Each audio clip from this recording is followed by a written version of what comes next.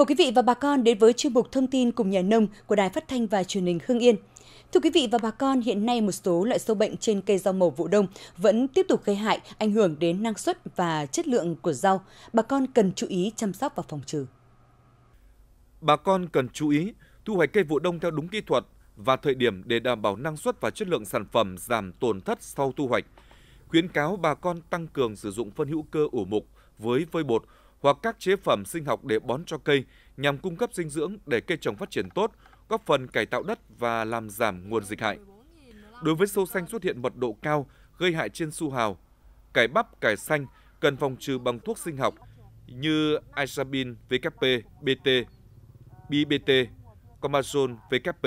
Trên cây cà chua chủ động phòng trừ bệnh mốc xương bằng chế phẩm nano đồng, nano bạc, đồng thời tăng cường sử dụng phân hữu cơ ủ mục với vôi bột hoặc chế phẩm sinh học Trichoderma để phòng trừ bệnh héo xanh. Trên bí các loại dưa chuột đậu đỗ, bệnh xương mai, phấn trắng gây hại ở giai đoạn cây cho thu hoạch cần phòng trừ bằng chế phẩm nano đồng, nano bạc, nơi xuất hiện dẹp mũi, bọ trĩ với mật độ cao cần phòng trừ bằng thuốc sinh học như VTBT, Bitadin, Isabin, VKP. Nhận thấy hiệu quả thiết thực từ việc nuôi gà đem lại, gia đình ông Phan Tiến Quân, xã Hồng Tiến, huyện Khói Châu đã mạnh dạn đầu tư và đến nay thì đã mang lại hiệu quả kinh tế khá.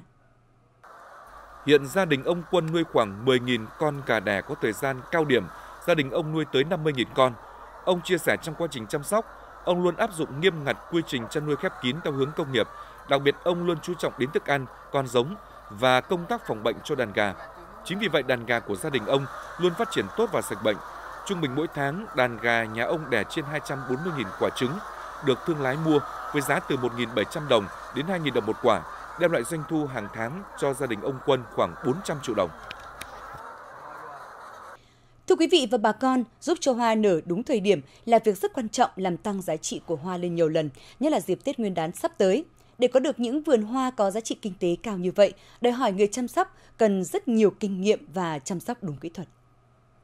Càng giáp Tết, nhu cầu chơi hoa tăng đột biến. Giá của hầu hết các loại hoa đều tăng từ vài nghìn cho đến vài chục nghìn đồng. Như hoa ly thời điểm này đang được bán với giá 20.000 đồng một cành, giáp Tết với giá 35 đến 40.000 đồng một cành. Hoa lan hiện có giá 120.000 đồng một kg, vào dịp Tết có thể từ 150 đến 180.000 đồng một kg.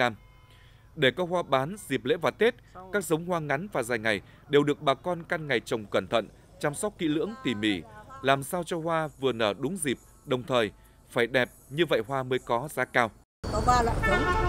Tiếp nhất là giống dài ngày là 3 tháng, ta trồng từ mùng 1 tháng 9. Cách chăm bón ta phải tưới toàn bộ phân đầu trâu, phun thuốc chống xương, giống ngắn ngày ờ, có 70 ngày thì ta trồng 20 tháng 9 phải giống ý ta phải thắp điện chăm bón cũng phải tưới phân ờ, đầu trâu dế vi sinh để cho xốp đất cho bông hoa nó tươi nó chắc hoa dược ta trồng từ cuối tháng 9 và đầu tháng 10 dùng phân đầu trâu và lân vi sinh tưới để cho hoa đúng vào dịp Tết. Cây hoa nở sớm hay muộn còn phụ thuộc rất nhiều vào thời tiết nắng ấm hay lạnh độ ẩm, mà cách chăm bón cũng khác nhau. Thời tiết nóng thì là mình à, chăm sóc mình nghe thì mình chăm sóc thưa thưa bớt đi, còn thời tiết rét mình chăm sóc lên từ đầu, thuốc lên từ đầu cho cây nó phát triển sớm hơn. Còn ấm thì mình chăm sóc bình thường. Hoa ly thì chăm sóc thì là lo vào toàn các cái phân à, đầu trâu như cả đạm xanh ấy, thì mình chăm sóc một xào nó vào 50 cân. Mỗi một khi thu hoạch xong là đất phải làm làm cho nó hả đất. Quý vị và bà con thân mến, tới đây chúng tôi xin kết thúc chuyên mục thông tin cùng nhà nông. Cảm ơn quý vị và bà con đã quan tâm theo dõi.